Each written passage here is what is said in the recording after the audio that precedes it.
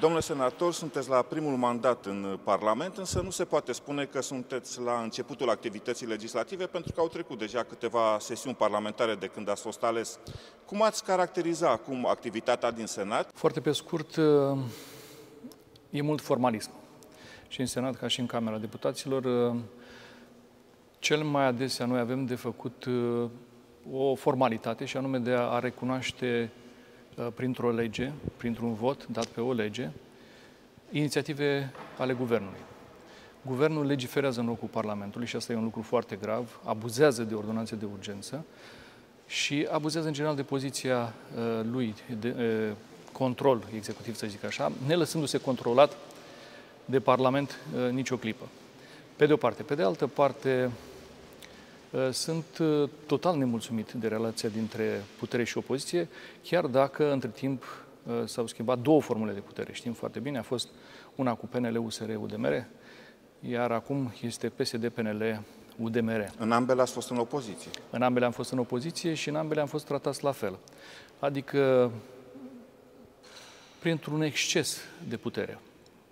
Cei care se află la putere nu-și imaginează că sunt vemernic la putere, nu înțeleg că și noi avem în spatele nostru uh, susținerea a foarte mulți români și că avem și răspunderi pe măsură, nu înțeleg că trebuie să ne trateze cu respect, dacă nu pentru noi ca persoane și ca grup parlamentar, cel puțin pentru că suntem reprezentanții acestor, acestor mulți români. Și, în general, nu înțeleg că și opoziția poate avea idei bune, pe care ar merita să le uh, adopte. Uh, cu acele idei bune cu care ar fi de acord, uh, procedează în felul următor. Le resping la vot, nouă ni s-a întâmplat deja în cel puțin câteva cazuri, ca apoi să revină sub forma unor inițiative ale grupurilor parlamentare ale puterii sau chiar printr-o ordonanță a guvernului. Domnule senator, sunt peste 70 de inițiative semnate de dumneavoastră și de Partidul Laur, dintre care una singură s-a transformat în lege. De ce această rată scăzută de succes? Pentru că și Partidul Aur face altfel de opoziție decât s-a făcut până acum. Partidul Aur uh, nu negociază nimic când e vorba despre valori și principii și atunci nu are ce tranzacționa. Partidul Aur a refuzat să uh, folosească votul românilor de care s-a bucurat în sensul unor negocieri de culise. Noi ce avem de spus, spunem pe față și le cerem și lor să facă același lucru. Avem idei bune, uh, avem soluții pentru țară, le avansăm. Iar uh, cei de la putere ar trebui să dea dovadă de profesionalism și de uh, rațiune ca să adopte acele idei și soluții care sunt bune, chiar dacă ele vin de la opoziție. Noi suntem tratați mai rău chiar decât uh, ceilalți colegi din opoziție, fie ei independenți sau uh, de la USR, pentru că, așa cum am spus, suntem uh, fără rest pe direcția noastră de mers, care a fost validată prin vot popular. Domnule senator, ați avut uh, multe lucruri de spus atunci când uh, s-a votat, când a fost supusă dezbaterii ordonanța de urgență privind măsurile de compensare a creșterii prețurilor la energie electrică și gaze naturale. Zilele acestea se pune în discuție modificarea acestor măsuri. Care este viziunea UR în acest sens? Vedeți, dumneavoastră, uh, de la începutul crizei prețurilor din energie, mai corect, problema a fost identificată corect de către grupul AUR, care a spus că uh, liberalizarea uh, fără pregătire a pieței de energie va duce la uh, prețuri speculative foarte mari, care la rândul lor vor declanșa, va declanșa, vor declanșa creșterea de prețuri în toate domeniile. Lucru care s-a întâmplat exact. Am cerut revenirea la piața reglementată și am explicat iarăși de ce nu poți să liberalizezi o piață unde statul este într-un soi de quasi-monopol. Ia cu 10 mâini, mai iau și speculanții din jurul lui, probabil că se dau și niște șpăgi grase pe motivul ăsta, și apoi întinde un deget, cică de ajutor. De fapt, e praf în ochi, pentru că acel ajutor nu este suficient și pentru că nu poate opri, opri creșterea galopantă a prețurilor la toate produsele și la toate serviciile. De aceea suntem pe această poziție constant, să revenim la piața reglementată. Nu există altă soluție. Restul sunt paliative, sunt praf în ochi, sunt uh, vorbe uh, cu o încărcătură electorală și atât. Care sunt prioritățile legislative pentru perioada următoare? A mai rămas o lună și ceva de zile până la finalul acestei sesiuni parlamentare. Noi ne continuăm programul cu care am intrat uh, în alegerile din 2020 și pe care îl respectăm de atunci încoace. Am încercat uh, să ducem la bun sfârșit o serie de inițiative care să întărească uh, în mod faptic valorile pe care noi ne le-am asumat. Noi credem în familie, credem în națiune, credem în Dumnezeu și credem în libertate. Și toate acțiunile noastre din Parlament, că sunt inițiative legislative, uh, propuneri legislative, că sunt uh, amendamente la legi, că sunt declarații politice, toate, sau că e vorba de control parlamentar exercitat asupra executivului, toate au ca scop slujirea acestor valori pe care noi ni le-am asumat. În consecință, așa cum am făcut până acum, am uh, lansat o serie de propuneri uh, pentru ajutorarea familiilor cu copii, de la 1 până la mai mulți copii. Vom continua să venim cu astfel de inițiative, chiar dacă ele sunt respinse pe bandă rulantă, așa cum uh, ați arătat și dumneavoastră și cum o arată și realitatea, pentru că guvernul nu este interesat să oprească Uh, declinul demografic grav în care se află România, sau dacă este interesat, nu lasă să se vadă acest interes. Pentru că, altminte, nu poți să-ți explici de ce respinge toate propunerile noastre de maxim bun simț, care nici nu presupun uh, bani cheltuiți de la buget, ci pur și simplu reduceri de taxe și impozite și anumite facilități pentru ca să se poată întreba familiile și pentru ca în familie să se poată naște cât mai mulți prunci. E, Ăsta este un obiectiv al nostru pentru slujirea familiei, pentru întărirea familiei, pentru susținerea familiei. Vom milita până la capăt.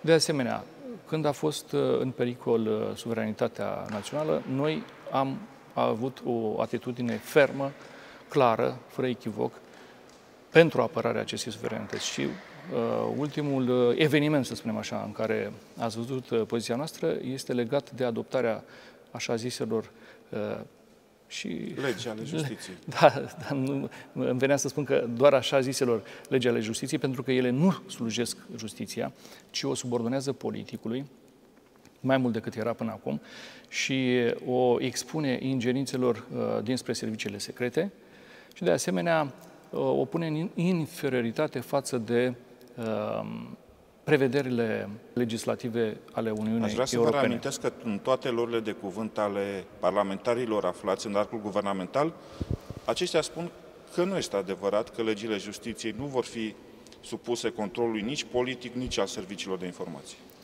Da, numai că orice român care e alfabetizat poate să caute informații și să vadă că lucrurile stau așa cum spunem noi și nu cum o spune puterea. Atâta vreme cât dai libertate uh, pentru refacerea protocolelor dintre serviciile secrete și uh, magistrați, atâta vreme cât dai posibilitatea recrutării de magistrați pentru serviciile secrete. Și atâta vreme cât pui uh, Constituția României în inferioritate față de prevederile legale emanate de la Bruxelles Cred că uh, e foarte clar pentru toată lumea că noi avem dreptate și nu cei de la putere. Domnule senator, ați avut de curând o interpelare în care solicitați o situație actualizată a stocurilor de cereale din România. Există îngrijorări cu privire la situația rezervelor de stat?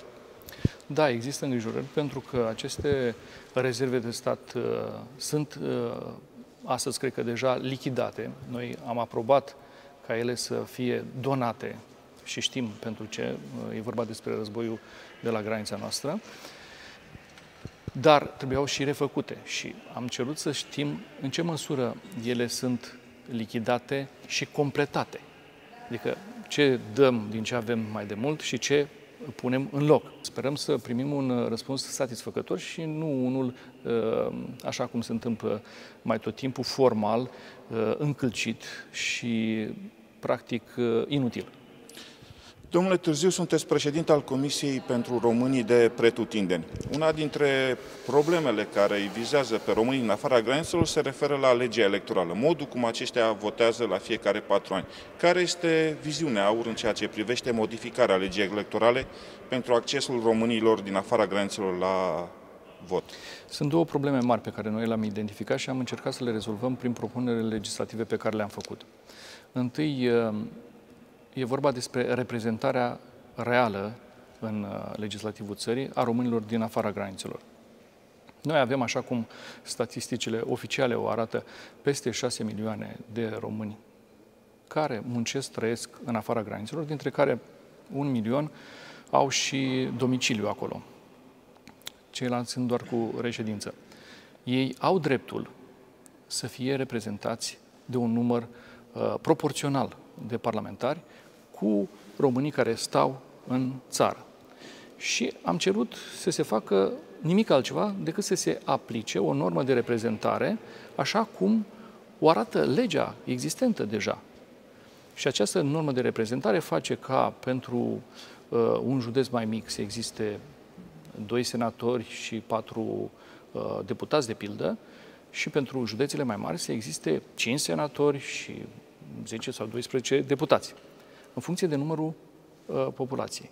Ei, cum se face că pentru diaspora, pentru românii de afară, pentru cele șase milioane de români, a stabilit cineva din PIX că sunt de ajuns doi senatori și patru deputați.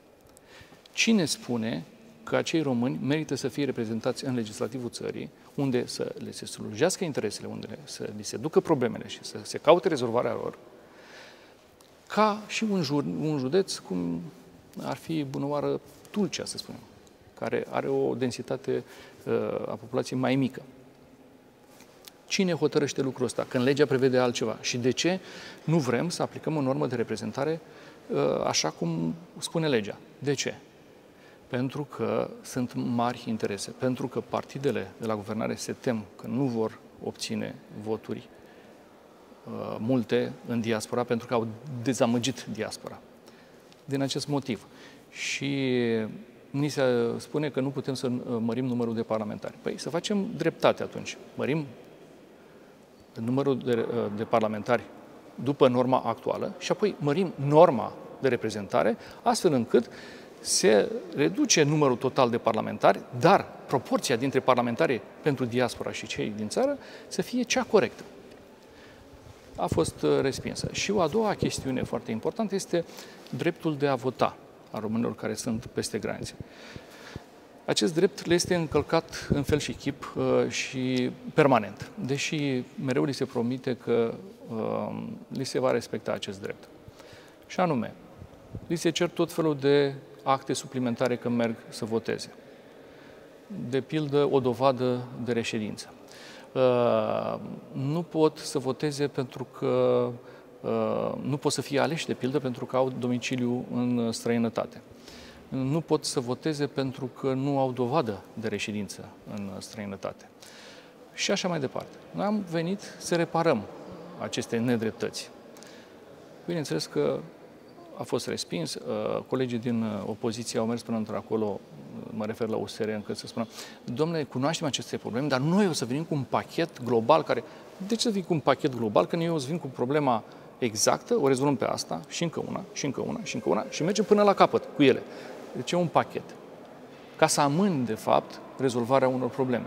Ca să-i păcălești încă o dată pe uh, românii din afara granițelor. Numai că se vor înșela uh, cei care și închipuie că îi pot păcăli din nou pe românii din afara granițelor și asta se va vedea la vot. Domnule senator, sunteți parlamentar de București. Există un specific anume al problemelor cu care vin la dumneavoastră cetățenii din colegiu? Aș spune că există un specific. Uh, uh, sigur că sunt anumite, anumite nuanțe locale. Uh, în București, spre deosebire de alte orașe, acest oraș este împărțit în șapte. Cele șase sectoare și primăria capitalei. Uneori, uh, interesele dintre sectoare sunt divergente și uneori interesele dintre anumite sectoare și primăria capitalei sunt uh, divergente și duc la tot felul de neplăceri pentru uh, cetățeni.